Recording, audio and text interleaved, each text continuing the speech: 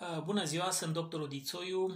Unii dintre dumneavoastră mă cunosc. Câteva date astăzi despre uh, virusul hepatitei B. Virusul hepatitei B este foarte, foarte răspândit în uh, România. Nu suntem, uh, așa cum suntem în alte domenii, pe primul loc în lume. Chinezii au mult mai, indienii au mult mai răspândit această boală da, dar totuși virusul hepatitei B este foarte răspândit în România.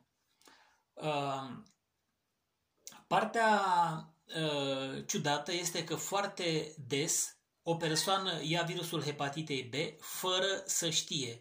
Este așa numita hepatită ascunsă. De ce? Principalele căi prin care se poate lua virusul hepatitei B sunt pe cale medicală.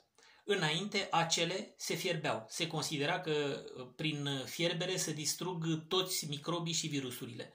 Între timp au fost descoperite și uh, unii microbi, inclusiv virusul hepatite B sau virusul hepatite C, și s-a observat că uh, în unele cazuri, prin fierbere, doar, aceste virusuri nu se distrug, dar totuși zeci de ani instrumentarul medical, instrumentarul chirurgical a fost dezinfectat prin fierbere și cu ocazia asta s-a transmis virusul hepatitei B de peste 30 de ani, inclusiv în România, se folosesc uh, seringi și ace de unică utilizare, deci această cale de transmitere nu mai există.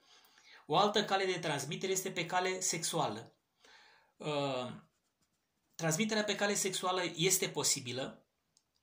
Sigur că uh, în condițiile în care într-o familie, într-un cuplu, o persoană are virusul B, trebuie testată și cealaltă persoană, și partenerul sexual.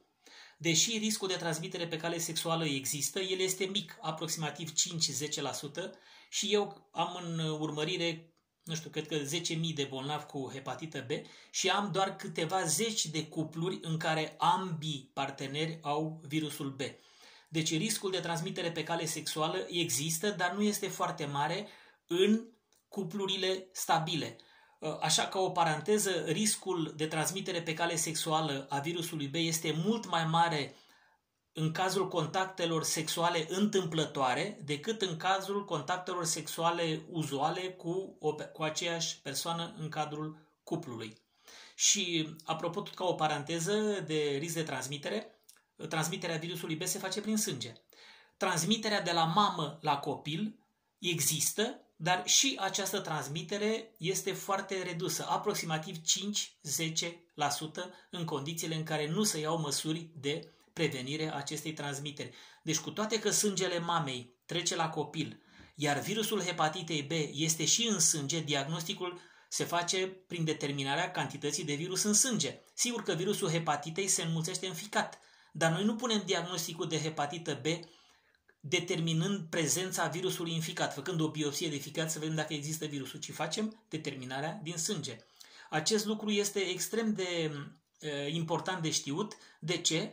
Pentru că există și situația în care virusul hepatitei B se înmulțește doar în ficat și nu trece în sânge, iar testele de depistare a concentrației virusului în sânge, așa numita viremie, sunt negative, deci viremie este nedetectabilă, Bolnavul are antigen HBS, deci antigenul HBS este o bucățică din virus. Deci acest antigen se descoperă în uh, sânge, dar virusul nu.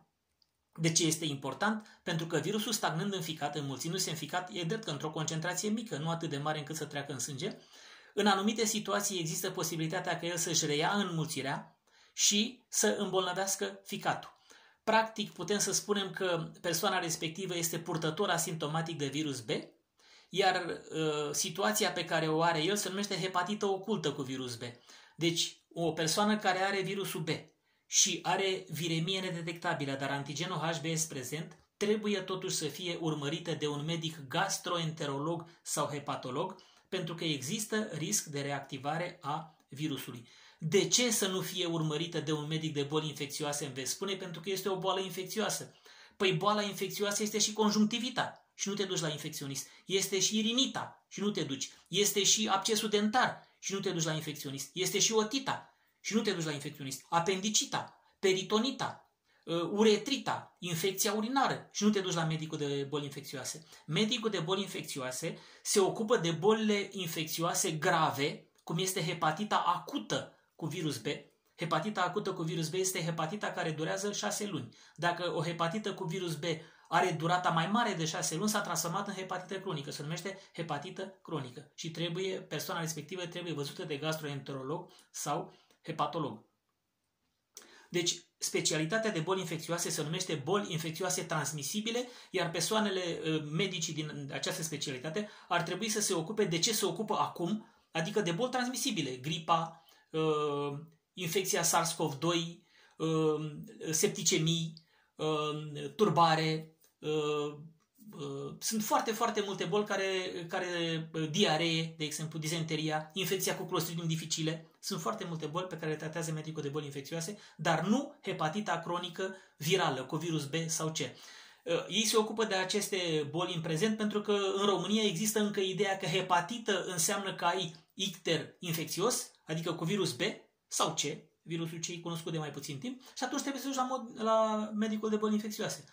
Hepatită înseamnă, de fapt, inflamația ficatului, iar inflamația ficatului poate să aibă câteva cauze. Virală, B, C sau D, una din cauze, dar există hepatită alcoolică, hepatită legată de steatoza hepatică de grăsimea ficat se numește steatohepatită, hepatită toxică, hepatită autoimună, hepatită medicamentoasă, hepatită la ceaiuri. Americanii spun hepatită la ierburi chinezești. Deci există mai multe forme de hepatită, nu numai hepatita virală. Și majoritatea formelor de hepatită, exceptând hepatita acută virală, se tratează de medicul gastroenterolog sau hepatolog pentru că el se ocupă de fapt și de ciroză, care este etapa finală de evoluție a hepatitei. Revenând la hepatita cu, cu virus B, tratamentul hepatitei cu virus B nu trebuie făcut totdeauna. Sunt câteva criterii de tratament. În orice caz, ce trebuie să știți? Din 100 de bolnavi cu hepatită cu virus B, unul moare din cauza hepatitei, statistic, iar 99 din altă cauză. Și încă un lucru, din 100 de bolnavi cu hepatită B, corect îngrijiți, 80 nu fac ciroză hepatică și doar 20 fac ciroză hepatică, iar cei care fac ciroză hepatică de obicei au și alți factori de risc pentru ciroza hepatică, adică virusul D sau delta, care se asociază frecvent cu virusul B.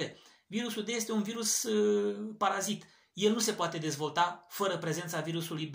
Și de obicei, un bolnav care are virusul B și D, virusul B este în concentrație foarte mică, iar virusul D este în concentrație foarte mare. Deci cel care dă boala este virusul D.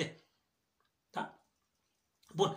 Deci în, în situațiile acestea, persoana respectivă trebuie să meargă la uh, un medic de medicină internă, gastroenterolog sau hepatolog, să fie monitorizat periodic, pentru că, după cum v-am spus, chiar dacă riscul este mic de ciroză hepatică, deci 20% din bolnavii cu hepatită B care au și comorbidități, v-am spus virusul D, virusul C, consum de alcool, steatoză hepatică. Steatoza hepatică reprezintă un factor asociat important de risc al persoanei cu virus B către ciroză hepatică. Deci este extrem de important de luat măsuri și din acest punct de vedere. Iar măsurile luate în cazul steatoze hepatice sunt în special măsuri dietetice. Aceste măsuri dietetice le prescrie medicul care se ocupă cu alimentația bolnavului, deci cu tubul digestiv, adică medicul gastroenterolog sau hepatolog și ele, dacă sunt respectate, sigur că nu suntem perfecți, dar putem să fim măcar rezonabili, deci dacă respectăm în mod rezonabil aceste măsuri, sunt șanse foarte mari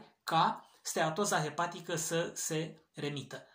Concluzionând, dacă aveți hepatită cu virus B, este bine să vă și fără simptom și cu viremie mică, nu mai vorbesc de bolnavi care au simptome sau viremie uh, mare, trebuie să vă prezentați, să vă vadă cu o anumită periodicitate un medic de medicină internă, gastroenterolog sau preferabil hepatolog. Sunt doctorul Dițoiu. Știu că mulți dintre dumneavoastră urmăresc aceste videoclipuri din uh, din cauza faptului că vor să fie informați, dar totuși cei care vor să aibă, sunt interesați de această problemă și vor să aibă informații suplimentare, le găsesc căutând pe Google dițoiu și hepatita B, de exemplu, sau ciroza hepatică sau bol de ficat sau hepatite. Am și un site special dedicat acestei probleme, hepatolog.ro. Vă urez să fim sănătoși și să ne vedem cu bine!